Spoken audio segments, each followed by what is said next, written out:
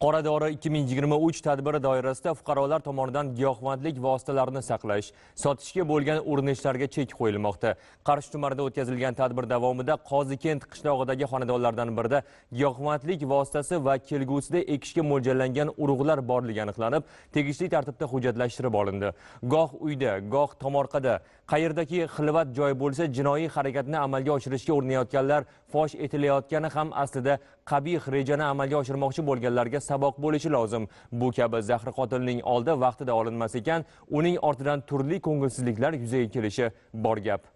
Mazkur holat yuzasidan O'zbekiston Respublikasi Jinoyat kodeksining 270-modda 2-qism A bandi hamda 25 orqali 273-modda 3-qism A bandi bilan jinoyat ishi qo'zg'atilib, gumonlanuvchiga nisbatan O'zbekiston Respublikasi Jinoyat protsessual kodeksining 221-modda tartibida ushlanib, qamoq ehtiyot chorasi qo'llanilgan. Hozirda Qarshi tuman ichki ishlar bo'limi huzuridagi tergov bo'limi tomonidan dastlabki tergov harakatlari olib borilmoqda.